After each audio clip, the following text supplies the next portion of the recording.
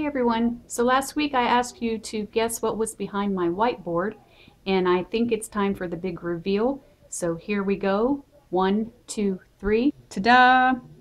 It's a new gardening magazine.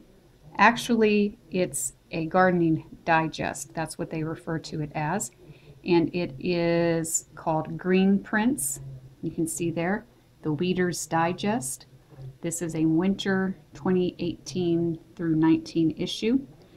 And if I may just turn this over, it is published out of Fairview, North Carolina. And I got this at my local library. They had a sale there on some books. And it has inside, you're able to submit contributions. This is more of a story magazine stories about gardening. This here example, a bag of sugar, lemon curd needs sweetening, so I've learned do I.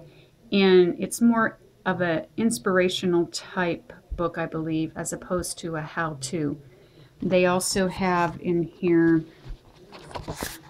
you can order the magazine. They have sections for that. They have a little bit of history.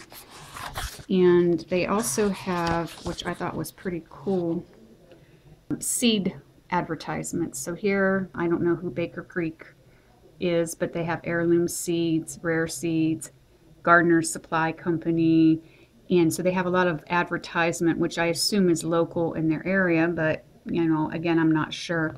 But I look forward to going or delving into this magazine a little bit further.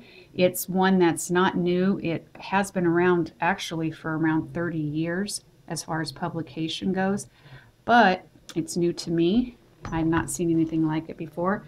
And for 50 cents, you can't beat that. So I'm going to take a look at it. Hope you'll check it out on their website. Maybe order you an issue as well. And as always, remember to sow, reap, repeat.